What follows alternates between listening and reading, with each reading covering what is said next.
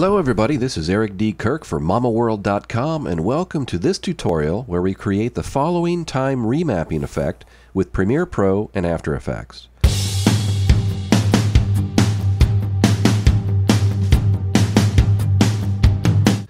The key idea is to time remap the clip in sync with the beats of the music so that the video is moving at the beats and stopping in between them. In Premiere Pro, we first do a beat detection using our extension BeatEdit.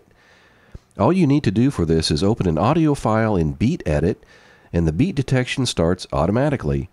Now we make sure that the Clip Markers is selected here, and then click the Generate Markers button to generate markers for all detected beats.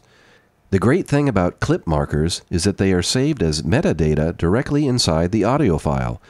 So if we import the same audio file in After Effects and drag it into a composition, you can see that the markers are in After Effects now too. I already have my time-lapse clip here in the composition, but currently it is playing at normal speed. Now we make sure that we are at the first frame, right-click on the clip and choose Time Freeze Frame.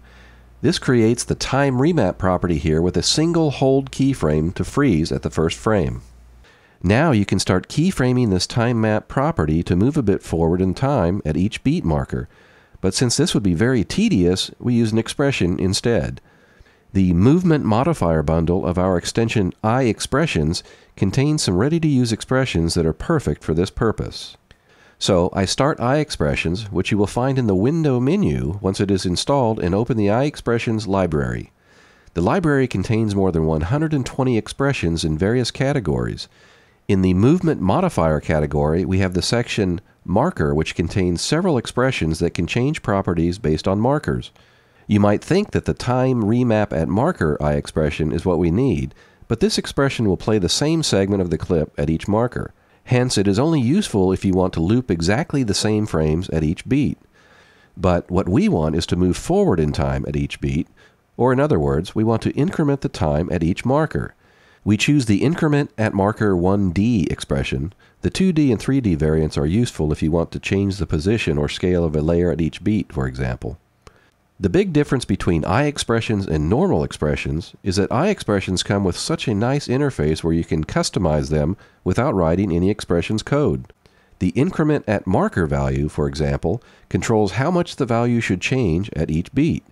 We set it to 0.2, which means that the time will move forward 0.2 seconds on each beat. Also, since the markers are not on our footage but are on the music layer, we choose Use Markers from, Other Layer, and enter the name of the layer with our markers here.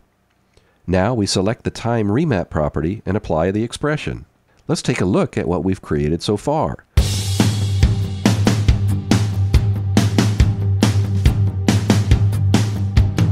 The video plays nicely in sync with the beat, but the movements at the beat are very abrupt. To change this, we add some fade in. Let's set the fade into 5 frames and apply the expression again.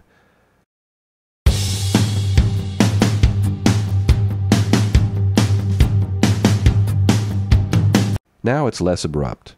You can make it even more smooth by choosing an exponential fade type. And this is our final result.